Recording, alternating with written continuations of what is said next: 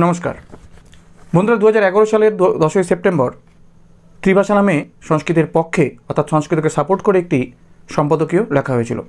সেই সম্পাদকীয়টা আমি আজকে আপনাদের সঙ্গে একটু আলোচনা করব। আপনারা মন দিয়ে শুনুন এবং সেই সঙ্গে সংস্কৃতের প্রচার এবং প্রচারের জন্য অবশ্যই অবশ্যই আপনারা বন্ধুদের সঙ্গেও শেয়ার করুন। কিন্তু এই ত্রিভাষা নামে এই সম্পাদকীয়টি কেবল কেবল লেখা হয়েছিল, সেটি কিন্তু নয়। আরও এরকম ধারাবাহিকভাবে সংস্কৃতের পক্ষে অর্থাৎ সংস্কৃতকে সংস্কৃতকে সাপোর্ট করে সংস্কৃত চর্চার প্রয়োজনীয়তা কী রয়েছে, গুরুত্ব কী রয়েছে, সেই বিষয়ে কিন্তু বেশ কয়েকটি সম্পাদকীয় লেখা হয়েছিল।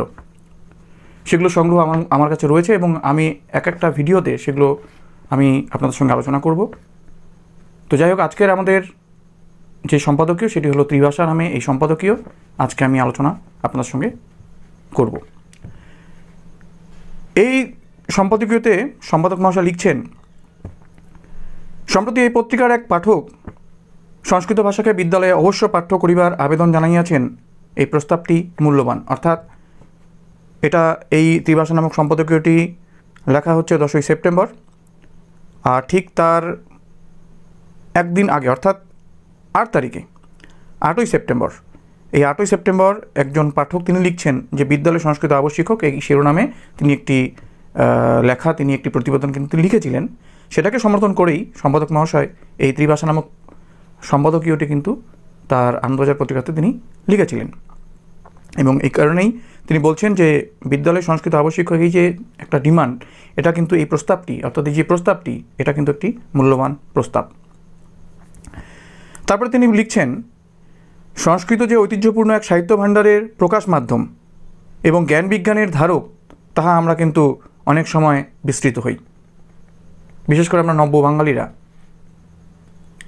আমরা কিন্তু আধুনিকতার নামে অনেক কিছু আমরা প্রাচীন ঐতিহ্য, প্রাচীন যা কিছু আমাদের ছিল ছিল মানে যা আছে, প্রাচীন ঐতিহ্যপূর্ণ যা কিছু, সেগুলো কিন্তু আমরা ভুলতে বসেছি। বিশেষ করে সংস্কৃত যে সংস্কৃতের সংস্কৃতের যে ঐতিহ্যপূর্ণ এক সাহিত্য ভাণ্ডার সাহিত্য ভাণ্ডারের প্রকাশ মাধ্যম, অর্থাৎ সংস্কৃতে যে এত বিচিত্র ধরনের সাহিত্য ভাণ্ডার রয়েছে, সাহিত্য রয়েছে, কত ধরনের সাহিত্য রয়েছে, সেগুলো কিন্তু আমরা ভুলতে বসেছি আজকের আমরা বাঙালিরা। এছাড়াও কিন্তু আমরা জ্ঞান বিজ্ঞান, আমাদের প্রাচীন ভারত হাজার হাজার বছর আগে আমরা কতটা বিজ্ঞানের ক্ষেত্রে কতটা কি উন্নতি করেছিলাম, জ্ঞান বিজ্ঞানে কোন কোন শাখায় আমরা উন্নতি করেছিলাম, সেই বিষয়গুলো কিন্তু আমরা ভুলতে বসেছি। আজকের আমরা নব্য ভারতীয়রা, বিশেষ করে নব্য বাঙালিরা। তাই তিনি লিখছেন যে, সংস্কৃত যে ঐতিহ্যপূর্ণ এক সাহিত্য ভাণ্ডারের প্রকাশ মাধ্যম এবং জ্ঞান বিজ্ঞানের ধারক, তা কিন্তু আমরা অনেক সময় বিস্তৃত হই এবং এই কথাটা তো খুবই সত্যি। তারপরে তিনি লিখছেন বিশেষ করিয়া পশ্চিমবঙ্গে একদা একদা ভাষার প্রশ্নে বৈপ্লবিক সংকীর্ণতা জারি হইয়াছিল। তাহাদের বিপ্লববাদী দরদিয়া চক্ষে চক্ষে ইংরাজি কেবল উপনিবেশের প্রভুদের ভাষা হিসাবে পরিগণিত হইয়াছিল, আর তারা ভাবিয়াছিলেন সংস্কৃত বুঝি কেবল পুরোহিততন্ত্রের ভাষা। ফলে সংস্কৃত ইংরাজি শিক্ষার ব্যবস্থাপনাকে তারা নিকেশ করিয়াছিলেন, আর সর্বস্তরে সহজেই এক ফাঁকিবাজি কায়েম হইয়াছিল। ফলত জ্ঞানের অবনমন ঘটিয়াছিল। যেমনটা আমরা বন্ধুরা জানি যে সরকার, বিগত সরকারগুলো কীভাবে তারা নীতি নির্ধারণ করেছিলেন এবং তাদের নীতি নির্ধারণের ফলে, ফল এখনও আমাদের প্রজন্মকে কিন্তু ভুগতে হচ্ছে। তো তাই সম্পাদক মহাশয় বলছেন যে তারা একসময় ইংরেজিকে কিন্তু তারা দূর করেছিলেন, উপনিবেশের প্রভুদের ভাষা হিসেবে তারা দূর করেছিলেন। তারা সংস্কৃতকে পুরোহিততন্ত্রের ভাষা বলে দাগিয়ে দিয়েছিলেন। আর ফলস্বরূপ কী হয়েছিল? ফলস্বরূপ আমরা দেখেছিলাম যে ফাঁকিবাজি সর্বস্তর একটি ফাঁকিবাজি এবং জ্ঞানের অবনমন কিন্তু ঘটেছিল। এটা কিন্তু আমরা চাক্ষুষ করেছি এবং বর্তমানেও কিন্তু করছি। বঙ্গবাসী তাহাদের ভাষা শিক্ষার ঐতিহ্য ভুলিয়াছিল ঠিকই তো, আমরা তো ভাষা শিক্ষার ঐতিহ্য ভুলিয়াছি, আমরা আজকে কটি ভাষা জানি? একটা বাংলা, হিন্দি, ইংরেজি, কয়টা ভাষা জানি? একটা, দুটো, তিনটা, চারটা। কিন্তু একদা কিন্তু এই বাংলাতে আমাদের মনীষীরা, আমাদের দিগ্গজ যারা পণ্ডিত ব্যক্তি ছিলেন, যারা সাহিত্যে দিগ্গজ ছিলেন, বিভিন্ন বিষয়ে তারা কিন্তু একাধিক ভাষা জানতেন, একাধিক ভাষা দশটা থেকে বারোটা ভাষা এরকম কিন্তু জানতেন। আমাদের এই বঙ্গের মনীষীরা যারা ছিলেন একসময়, যারা সমগ্র ভারতে এবং বিশ্বে মানুজ্জ্বল করেছিল, এই বঙ্গের মানুজ্জ্বল করেছিল, তারা কিন্তু একাধিক ভাষা তারা জানতেন। অর্থাৎ একটা ভাষা শেখার কিন্তু একটা ঐতিহ্য ছিল, অর্থাৎ ভাষা শিক্ষার ঐতিহ্য ছিল, সেটা কিন্তু আমরা ভুলেছি। এক্ষণে ইংরাজির প্রয়োজন বঙ্গজগণ টের পাইয়াছেন। যেমন করিয়া পারেন, তা শিখেবার প্রয়াস করিতেছেন। আর আমরা এখন তো ইংরেজির প্রাসঙ্গিকতা ইংরেজি শিক্ষা কতটা প্রয়োজনীয় রয়েছে সেটা কিন্তু আমরা বুঝেছি। আমরা বঙ্গজোড়া বুঝেছি। লেট করে হলেও আমরা বুঝেছি। এবং যে যেভাবে পারছি, আমরা কিন্তু ইংরেজি শেখার চেষ্টা করেই যাচ্ছি। তারপর তিনি লিখছেন, কিন্তু সংস্কৃতের প্রতিও কিন্তু মনোযোগ আবশ্যক। কিন্তু ইংরেজি সময়ের দাবি সময়ের প্রয়োজনে আমাদের ইংরেজি তো শিখতে হচ্ছে, শিখতে হবেও। কিন্তু তাই বলে সংস্কৃতকে ভুললে চলবে না। তাই তিনি বলছেন যে সংস্কৃতের প্রতিও কিন্তু মনোযোগ আবশ্যক। পাশ্চাত্য উদাহরণ তিনি বলছেন যে পাশ্চাত্যে ইংরেজি, ফরাসি, জার্মান এই তিন ভাষা জানা শিক্ষিত মানুষের শিক্ষাক্ষেত্রে সহজেই চোখে পড়ে। অর্থাৎ তারা কিন্তু কমপক্ষে ইংরেজি ফরাসি, জার্মান তাদের নিজেদের নিজেদের ভাষাগুলো কিন্তু তারা জানেন। অর্থাৎ এই তিন ভাষা জানা শিক্ষিত মানুষ শিক্ষাক্ষেত্রে সহজেই চোখে পড়ে। তাহলে ইংরেজি সংস্কৃত ও বাংলা এই তিন ভাষাই বা শিক্ষিত বাঙালি জানিবেন না কেন? একদা তো জানিতেন। সম্পাদক মহাশয় বললেন, তাহলে ইংরেজি, সংস্কৃত ও বাংলা এই তিন ভাষা শিক্ষিত বাঙালি জানিবেন না কেন? একদা তো জানতেন, বাঙালিরা একদা তো জানতেন, জানিতেন। শুধু বিদ্যালয় স্তরে নহে উচ্চশিক্ষায় কতগুলি বিষয় পড়ার জন্য সংস্কৃত ভাষা সাহিত্যের জ্ঞান আবশ্যক। বিশেষ করিয়া বাংলা ভাষা সাহিত্যের ও প্রাচীন ভারতীয় ইতিহাসের। পড়ুয়াদের সংস্কৃত না জানিলে চলিবে কেন? প্রাচীন ভারতের ইতিহাস ও সংস্কৃতির কথা জানিতে হইলে সংস্কৃতে রচিত মূল গ্রন্থাদি পড়িতে হইবে। এটা তো ঠিকই যে মূল গ্রন্থাদি পড়িতে হবে। ট্রান্সলে, ট্রান্সলেটের যেই বইগুলো রয়েছে, অর্থাৎ ট্রান্সলেশন রয়েছে, সেগুলোতে কিন্তু অনেক সময় বিকৃতি ঘটে যায়। এই কারণে সংস্কৃত রচিত মূল গ্রন্থাদি পড়িতে হবে। এবং সম্পাদক মহাশয় বলছেন যে উচ্চশিক্ষার কতগুলি বিষয় পড়ার জন্য সংস্কৃত ভাষা সাহিত্যের জ্ঞান আবশ্যক? অর্থাৎ সংস্কৃত ভাষার জ্ঞান, সংস্কৃত ভাষা সাহিত্যের জ্ঞান কিন্তু অনেক বিষয়ের ক্ষেত্রে কিন্তু সহযোগিতা করে এবং অনেক পাণ্ডিত্য বাড়িয়ে তোলে। বিশেষ করে বাংলা ভাষা সাহিত্যের চর্চা ক্ষেত্রে বলুন, বিশেষ করে প্রাচীন ভারতীয় ইতিহাসের পুরো, ইতিহাসের চর্চার ক্ষেত্রে বলুন, সংস্কৃতের কিন্তু জানাটা প্রয়োজন রয়েছে, অর্থাৎ খুব প্রয়োজন, বেশি প্রয়োজন কিন্তু রয়েছে সংস্কৃতের চর্চা করাটা। আর সংস্কৃতে রচিত মূল গ্রন্থাদি কিন্তু পড়িতে হইবে সম্পাদক মহাশয় কিন্তু তার এই সম্পাদক কিন্তু এটা বলছেন। বাংলা ভাষার গতি প্রকৃতি বা কেমন করিয়া সংস্কৃত ছাড়া জানা সম্ভব? আর আমরা জানি যে সংস্কৃত ভাষা ছাড়া, সংস্কৃত ভাষার গতি প্রকৃতি যদি না জানি, তাহলে সংস্কৃত সংস্কৃত ছাড়া যদি, আমরা যদি সংস্কৃত যদি না জানি, তাহলে বাংলা ভাষার গতি প্রকৃতি বা কীভাবে জানব? অর্থাৎ আমরা যেমনটা জানি যে আমরা যদি তৎসম শব্দগুলো তুলে নেই, ধরুন আমি যদি সংস্কৃতটা না জানি, সংস্কৃত জানলে কিন্তু বাংলা ভাষাটা অনেক বেশি সমৃদ্ধ হয়ে উঠবে। কেবল বাংলা ভাষা না যে কোনো আঞ্চলিক ভাষাগুলোই বলুন না কেন, সংস্কৃতের চর্চার পাশাপাশি সংস্কৃতের চর্চা করলে কিন্তু অন্যান্য যে আঞ্চলিক ভাষাগুলো রয়েছে, সেগুলো কিন্তু অনেক বেশি সমৃদ্ধ হয়ে ওঠে, এটা আমরা জানি। বাংলা ভাষা যেমন, বাংলা ভাষাতে প্রচুর মাত্রায় তৎসম শব্দ রয়েছে, তৎসম অর্থাৎ যাহা তৎসম তাহাই সংস্কৃত। আর তদ্ভব কিছুটা সংস্কৃত শব্দগুলো, যেটা কিছুটা পরিবর্তিত হয়ে ব্যবহৃত হয়, আমরা জানি। তো তৎসম শব্দগুলো যদি আমরা, তাহলে বেশিরভাগ কিন্তু শতাংশের সিংহভাগ কিন্তু এই তৎসম শব্দ বাংলা ভাষাতে। এবার আমরা যদি এই সেই তৎসম শব্দগুলো যদি তুলে নেই, তাহলে কী পড়ে থাকবে? স্কেলিটন পড়ে থাকবে। অর্থাৎ আমরা বাংলা ভাষাকে কিন্তু সেই অর্থে খুঁজে পাবো না। সুতরাং তাহলে আমরা বুঝতে পারছি সংস্কৃত জানাটা খুব প্রয়োজন রয়েছে।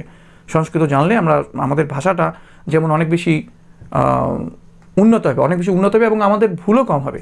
আমরা দেখছি যে বাংলা ভাষা লিখতে গিয়ে, বলতে গিয়ে অনেক জায়গায় অনেক রকমভাবে আমরা ভুলভ্রান্তি কিন্তু করে ফেলছি, তার কিন্তু অনেকটা, তার সিংহভাগ কারণ কিন্তু এই সংস্কৃত চর্চা না থাকা। তো যাই হোক, এখানে তাই সম্পাদক মহাশয় বলছেন যে বাংলা ভাষার গতি প্রকৃতি বা কেমন করিয়া সংস্কৃত ছাড়া জানা সম্ভব? যদুনাথ সরকার, ঐতিহাসিক যদুনাথ সরকার তো একটি পত্রে প্রাচীন ইতিহাসের পড়ুয়াদের সংস্কৃত পাঠ করিতে নির্দেশ দিয়েছিলেন। অর্থাৎ যদুনাথ সরকার কিন্তু প্রাচীন ইতিহাসের পড়ুয়াদের সংস্কৃত পাঠ করিতে নির্দেশ দিয়েছিলেন। বাংলা ভাষা সাহিত্যের শ্রুতকীর্তি অধ্যাপকরা সচরাচর সংস্কৃতে পারঙ্গম। অর্থাৎ এক সময় ছিলেন এখনও কতিপয় শ্রুতকীর্তি অধ্যাপকরা রয়েছেন। কিন্তু এটার চর্চা, সংস্কৃতের চর্চা আরও বেশি মাত্রায় প্রয়োজন। অর্থ- অর্থাৎ সংস্কৃতের চর্চা করাটা কিন্তু আরও বেশি স্কেলে করা প্রয়োজন। ফাঁকিবাজি করিয়া যে উচ্চশিক্ষিত হওয়া যায় না, এ কথা স্বীকার করিবার সময় কিন্তু আসিয়াছে। আরেক দিকও বিবেচনাযোগ্য। এশিয়াটিক সোসাইটির প্রতিষ্ঠা ভাষণে উইলিয়াম জোন্স সংস্কৃতকে গ্রিক ও লাতিন ভাষা অপেক্ষাও কিন্তু উন্নততর বলিয়াছিলেন। উইলিয়াম জোন্স কিন্তু সংস্কৃতকে গ্রিক ও লাতিন অপেক্ষাও উন্নততর কিন্তু বলিয়াছিলেন। আধুনিককালে ভাষাবিদরা সকল মানব ভাষাকেই গুরুত্বপূর্ণ বলিয়া তারা মনে করেন। কোনো ভাষায় কম মর্যাদাপূর্ণ নহে, সত্য কথা। তবে একটা ভাষা অপর ভাষার তুলনায় কিন্তু ব্যাকরণগত দিক দিয়ে অধিকতর বিজ্ঞানসম্মত হইতে পারে। অর্থাৎ আধুনিককালে ভাষাবিদরা সব মানব ভাষাকেই গুরুত্বপূর্ণ বলে মনে করছেন। অবশ্যই প্রত্যেকটি ভাষাই কিন্তু গুরুত্বপূর্ণ, প্রত্যেকটি ভাষাই কিন্তু গুরুত্বপূর্ণ। কিন্তু তবুও ব্যাক, বৈজ্ঞানিকতার দিক থেকে, গঠনগত দিক থেকে কিন্তু বা ব্যাকরণগত দিক থেকে যেটাই বলি না কেন, একটি ভাষার তুলনায় কিন্তু আরেকটি ভাষা কিন্তু অধিকতর বিজ্ঞানসম্মত কিন্তু হইতে পারে, যেটা সংস্কৃত। অনেক বেশি কিন্তু বিজ্ঞানসম্মত। এই কারণে কিন্তু এটা কি সাইন্টিফিক ল্যাঙ্গুয়েজ বলা হয় রিফাইন্ড ল্যাঙ্গুয়েজ বলা হয় পারফেক্ট ল্যাঙ্গুয়েজ বলা হয় কমপ্লিট ল্যাঙ্গুয়েজ বলা হয়।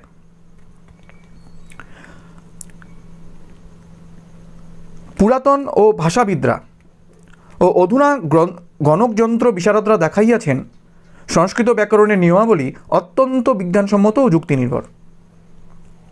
পুরাতন ভাষাবিদ যারা ছিলেন এবং অধুনা যারা গণক যন্ত্র বিশারদ, কম্পিউটার বিশারদরা রয়েছেন, তারা কিন্তু সংস্কৃত ব্যাকরণের নিয়মাবলী যে অত্যন্ত বিজ্ঞানসম্মত এবং যুক্তিনির্ভর, সেটা কিন্তু তারা প্রতিষ্ঠা করেছেন, সেটা কিন্তু তারা প্রমাণ করেছেন।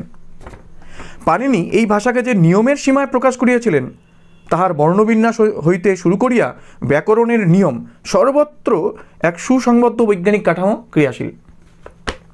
অর্থাৎ একটা লজিক সম্পূর্ণ কিন্তু সংস্কৃত ভাষাটা কিন্তু একটা লজিকের উপর দাঁড়িয়ে রয়েছে। বর্ণবিন্যাস থেকে শুরু করে, অর্থাৎ ক, খ, গ, ঘ, ম, চ, ছ জ ঝ, এইভাবে কর থেকে যে বর্ণবিন্যাস, তারও কিন্তু কারণ রয়েছে। অর্থাৎ একটা বৈজ্ঞানিকতা রয়েছে, তার পক্ষে কিন্তু যুক্তি রয়েছে লজিক রয়েছে।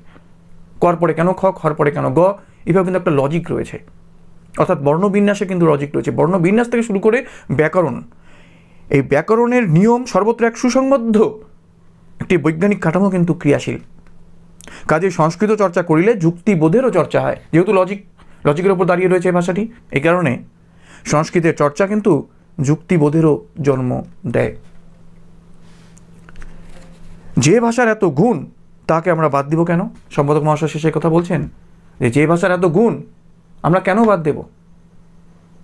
একদা বাঙালিরা কিন্তু এই ভাষা চর্চা করিতেন এবং তার প্রকাশ আমরা দেখেছি।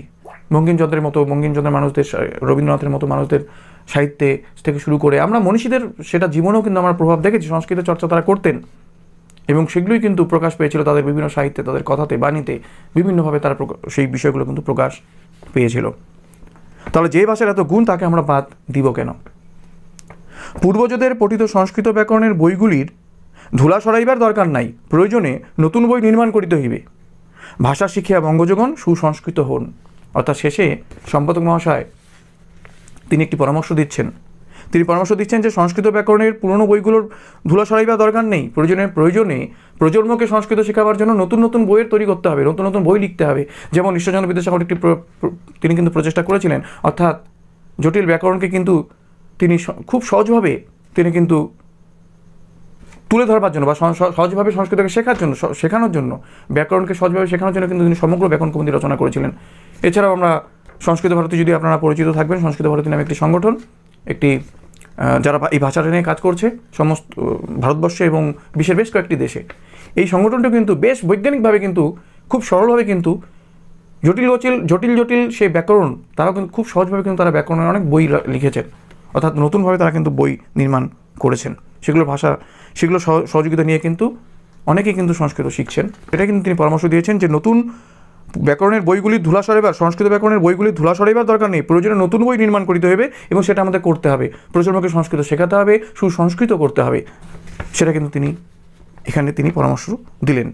ভাষা শিক্ষা বঙ্গজীবন, সুসংস্কৃত হন, শুদ্ধ হন, প্রাজ্ঞ হয়ে ওঠে এই ভিডিওতে আমরা এই ত্রিভাষা নামক এই সম্পাদকটি নিয়ে আলোচনা করলাম। যদি ভালো লেগে থাকে তাহলে অবশ্যই অবশ্যই লাইক করবেন। কারণ লাইক করলে আমাদের আমরা উৎসাহ পেয়ে থাকি পরবর্তী ভিডিওগুলো তৈরি করতে। তাই অবশ্যই লাইক করুন। আর আপনি কি মনে করছেন কোনো রকম কোনো বক্তব্য থাকলে অবশ্যই আপনি সেটা লিখে আমাদের জানাবেন। আপনি লিখলে সেটা পড়ে আমরা অবশ্যই অনেক বেশি সমৃদ্ধ হব। তো অবশ্যই লিখুন। যদি ফেসবুকে পেজ ফেসবুক পেজে দেখছেন তাহলে সেখানেও লিখবেন। আর যদি ইউটিউব ইউটিউবে দেখছেন তাহলে অবশ্যই আপনি আপনার মন্তব্য অবশ্যই লিখুন। পরের পরে ভিডিওতে আমাদের দেখা হচ্ছে। যেহেতু সংস্কৃতম